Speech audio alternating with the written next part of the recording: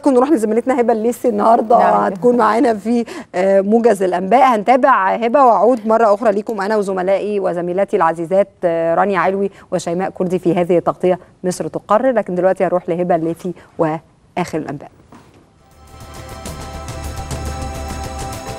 أهلا بكم في موجز التاسعة صباحا. بدأت في تمام التاسعة صباحا جولة الإعادة للمرحلة الأولى من انتخابات مجلس النواب وذلك في 14 محافظة هي الجيزة والفيوم وبني سويف وأس- وأسيوط والمنيا والوادي الجديد وسوهاج وق- وقنا والأقصر وأسوان والبحر الأحمر والإسكندرية والبحيرة ومرسى مطروح. وتستمر الانتخابات داخل مصر اليوم وغدا بينما ينتهي تصويت المصريين بالخارج اليوم. ويقدر عدد الناخبين في المرحلة الأولى بسبعة وعشرين مليونا بينما يتنافس على النظام الفردي 418 مرشحا للفوز ب 209 مقاعد وذلك بعد فوز أربعة مرشحين من الجولة الأولى. التصويت بدأ من التاسعة صباحا ويستمر حتى التاسعة مساء. يتخللها ساعة للراحة من الساعة الثانية والنصف ظهرا وحتى الثالثة والنصف وحتى الثالثة والنصف. يأتي ذلك بالإضافة إلى وقف إجراء الإعادة في أربع دوائر تنفيذا للأحكام الصادرة من محكمة القضاء الإداري وهي دوائر مركز بني سويف ولديها ثلاثة مقاعد ومركز الوسطى بمحافظة بني سويف ولديها مقعدان ومركز دمنهور بالبحيرة وتضم أربعة مقاعد ودائرة الرمل بالإسكندرية وتضم أربعة مقاعد. وبذلك يكون إجمالي المقاعد المخصصة للأربع عشر دوائر للأربع دوائر 13 مقعدا.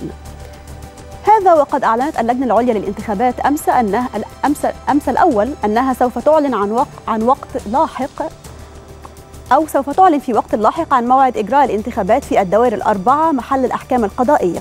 وبذلك تجري, تجرى جولة الإعادة في 99 دائرة فقط من أصل 103 دوائر. في حين تم حسم 60 مقعدا بنظام القائمة فازت بها قائمة في حب مصر بقطاعي الصعيد بنسبة 53.5% وغرب الدلتا بنسبة 58.38%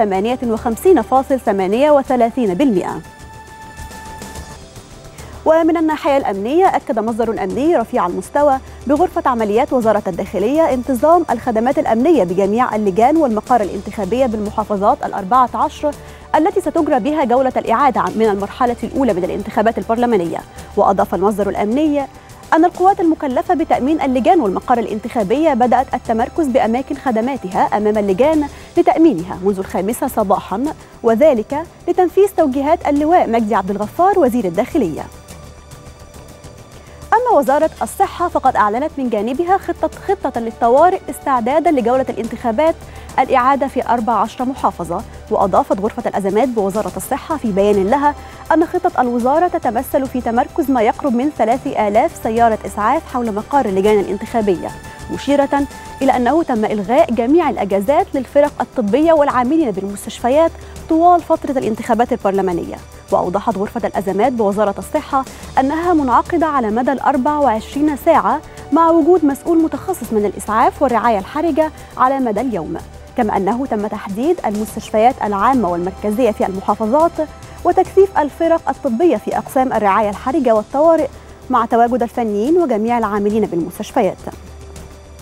وفي سياق متصل أك- أكد المستشار عمر مروان المتحدث الرسمي للجنة العليا للانتخابات أن جولة الإعادة من انتخابات المصريين في الخارج التي أجريت في 139 سفارة كانت منتظمة أمس في يومها الأول ولم تتلقى غرفة العمليات أي شكاوى وقال أنه تم اختار السفارات المصرية بقرار اللجنة العليا للانتخابات بوقف إجراءات الإعادة للنظام الفردي في دوائر مركز مركز ومدينة دمنهور والرمل والوسطى وبندر ومركز بني سويف.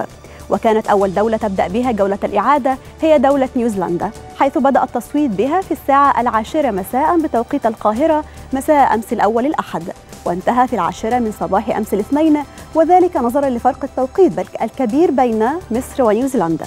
وأشار إلى أن اللجنة العليا تتابع عملية التصويت في جميع الدول أولا بأول عن طريق الفيديو كونفرنس. ومن جانبه قال اللواء حمدي لوزة نائب وزير الخارجية المسؤول عن انتخابات المصريين بالخارج أن تصويت المصريين في السفارات في السفارات بالخارج بدأ في موعده المحدد حسب التوقيت كل دولة موضحا أن المؤشرات الأولية تشير إلى عشرة آلاف أدلوا بأصواتهم في سفاراتنا بالخارج حتى الآن. وأضاف حمدي لوزة في تصريحات صحفية إن التصويت سيتزايد في اليوم الثاني نظرا لأن أمس يوم عمل.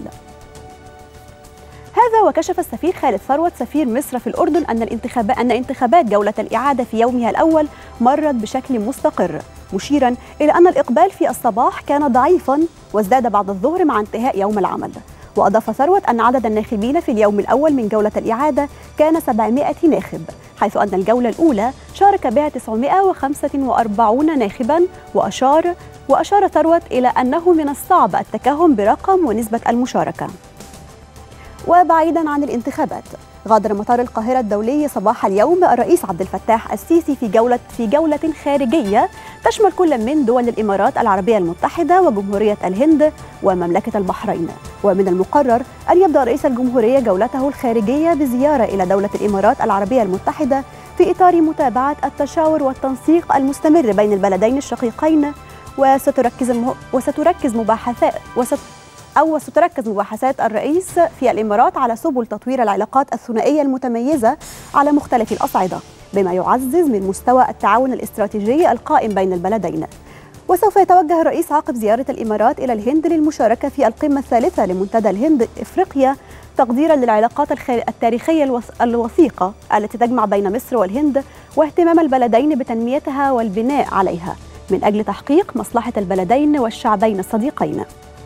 إلى هنا انتهى موجزنا الإخباري خدمة إخبارية على رأس كل ساعة إلى اللقاء.